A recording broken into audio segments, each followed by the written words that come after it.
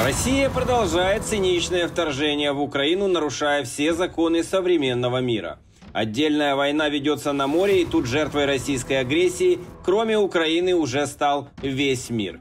ВМФ России терроризирует Черноморский регион и несет угрозу всему судоходству.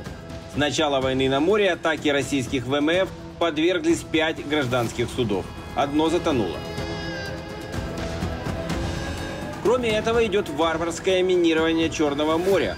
Гражданские суда просто боятся заходить из-за очень высоких рисков подвергнуться атаке или напороться на расставленные русскими мины.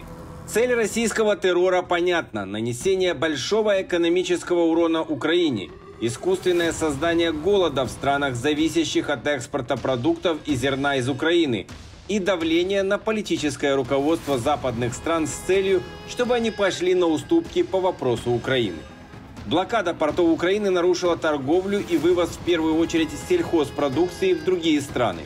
Особенно это касается экспорта зерна, от которого зависит продуктовая безопасность многих стран. Абсолютно понятно, что на все и всех России плевать.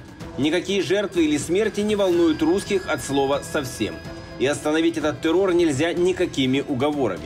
Все звонки диктатору Путину, высших чиновников и разных топ-политиков из других стран не только бесполезны, но и вредны. Они создают иллюзию того, что с ним кто-то еще о чем-то может договариваться. На самом деле упрашивать Россию стать цивилизованной страной нет смысла. А лучший аргумент продемонстрировали вооруженные силы Украины на примере крейсера «Москва». Москва первый, две пробоины, винт встал, зарылся,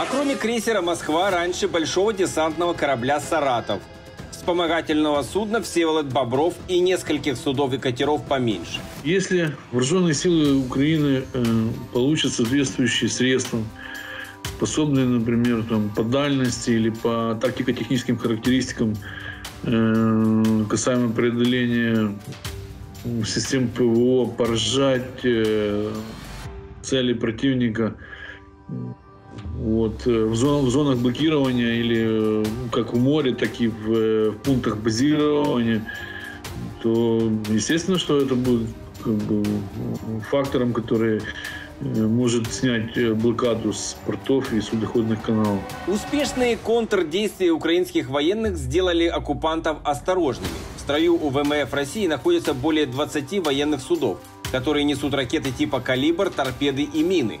Эта группировка сейчас угрожает безопасности всех стран Черноморского бассейна. Поскольку Турция не пропускает никакие военные суда через Босфор, кроме своих собственных, Россия не может вывести на ремонт или усилить свою группировку в Черном море. И вынуждена обходиться ремонтами поврежденных судов в Севастополе, Донузлаве и, возможно, Новороссийске. Так, в Севастополе на ремонте сразу три больших десантных корабля. Два из них были повреждены во время атаки украинских вооруженных сил на десантный корабль «Саратов», который в результате затонул в порту Бердянска. Один из них имеет очень значительные повреждения и вряд ли сможет вернуться в строй быстро. Два других ремонтируют ускоренными темпами. Также оккупанты проводят работы и поднимают со дна затопленные катера типа «Серна» и «Раптор» в районе временно захваченного острова Змеиный с целью ремонта и возвращения в строй. Но эти действия вряд ли сильно изменят обстановку, тем более это не произойдет быстро. Группировка ВМФ России все еще сильна в Черном море, но уже отошла на значительное расстояние от зоны досягаемости украинских ракет «Нептун». Кроме флота России, еще есть ряд факторов, которые могут угрожать. Мины, например, морские. Вот. Не секрет, что в акватории Черного моря проводились минные постановки. Вот.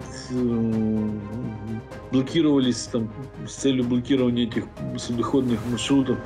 Вот. Поэтому надо еще будет проводить, кроме уничтожения э, флота России, надо будет еще проводить тролление соответствующих э, маршрутов вот, и акваторий. Ну, много чего еще может, может, может быть. Вот. Но в значительной степени, да, уничтожение флота, флота российского на Черном море э, будет способствовать безопасности. Почему? Потому что сейчас именно его действия определяют э, угрозам э, судоходству и, блокированию наших портов и маршрутов судоходных. Фашистская Германия во время Второй мировой войны использовала такую тактику, как сейчас использует Россия, и вела войну против гражданских судов. Тогда в блокаде была Европа и в первую очередь Великобритания. Единственным противодействием были конвои и борьба на море, уничтожение субмарин и военных судов фашистов. То же самое необходимо делать и с ВМФ России. С той лишь разницей, что никаких конвоев по Черному морю не будет. Мир уже дал понять, что не готов сражаться с Россией ни на земле, ни на суше. Остается один выход для разблокирования торговых маршрутов. Необходимо тотальное уничтожение всего Черноморского флота России, включая подводные лодки. И если надводный флот можно уничтожить одним ударом, то подводные лодки представляют большую проблему. В Черном море сейчас 6 подводных лодок России. Все они типа «Варшавянка» и несут на себе ракеты «Калибр», которыми обстреливают украинские города и села. Еще одна подводная лодка сейчас на ремонте.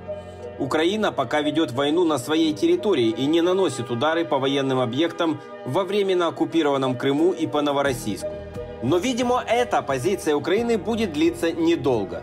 Союзники передают Украине современные противокорабельные ракеты «Гарпун», способные поражать цели на расстояние до 280 километров. Как только этих вооружений будет достаточно, вольготная жизнь ВМФ России закончится.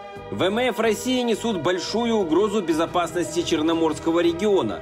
Надежды на отрезвление в Кремле нет. И терпеть террор России на море никто не будет вечно.